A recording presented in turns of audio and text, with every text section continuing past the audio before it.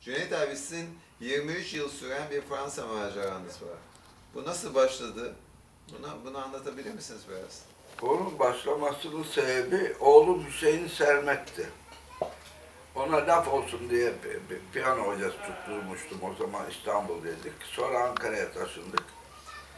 Oğlum da anormal, bir harika çocuk kabiliyeti keşfettiler. Ve o ve rahmetli Ferhunde Erkin ve Ulvi Cemal Erkin sayesinde Harika Çocuk Kanunu aldırdılar. 6660 sayılı Harika Çocuk Kanunu aldırdılar.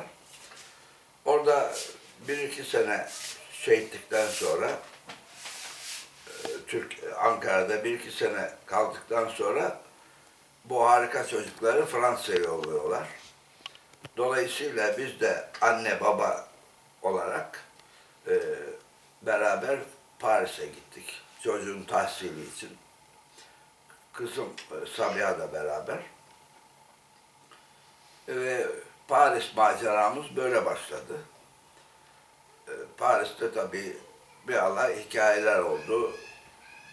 E, Hüseyin e, Paris Konservatuvarı'ndaki hocası Pierre Sankan'la anlaşmadı falan filan. Bu arada tabii e, Ulvi Cemal Erkin'den Adnan Saygun arasındaki korkunç kıskançlık çocuğun kariyerine de tesir ediyordu. Dolayısıyla ben ele aldım işi. Hüseyin'in hocalığını, piyano hocasını gizlice bulduğum bir adam ve parçalara yaklaşış şeklini enterpretasyon bakımından ben bakıyordum bütün parçalarına. Dolayısıyla bir uzun seneler beraber çalıştık Hüseyin'le. Bu arada tabii ilk e, Fransa'ya gittiğimiz zaman Paris'te hanımla beraber Sorbonne Üniversitesi'ne kaydolduk. Tarih. Benim çünkü kolejde ben e, makine mühendisliği okudum.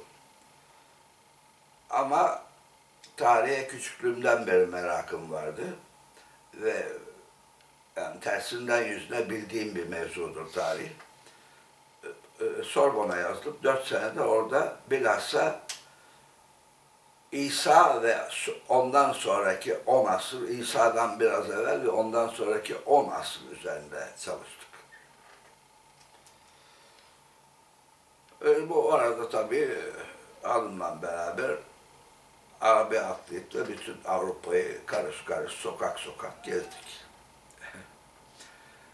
E, e, Küçük kızım da kendi başına her şeyi biz çünkü Hüseyin'le cebelleşirken küçük kızım maşallah kendi başına hem Fransızcayı söktü hem bütün mektepleri söktü.